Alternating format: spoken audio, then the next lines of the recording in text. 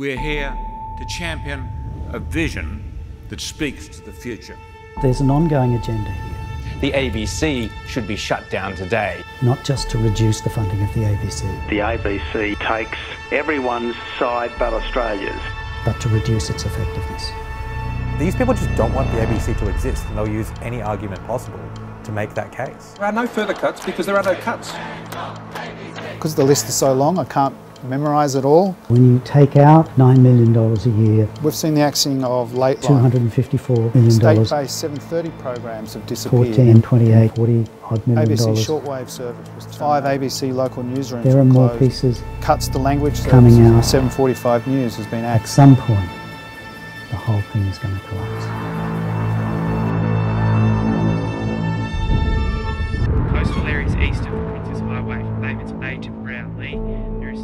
All we had was the ABC radio. And then all of a sudden, It was gone. ABC Life is another casualty. ABC Life was a threat to the revenue of, of somewhere like News Corp. So they launched a vendetta against us from day one.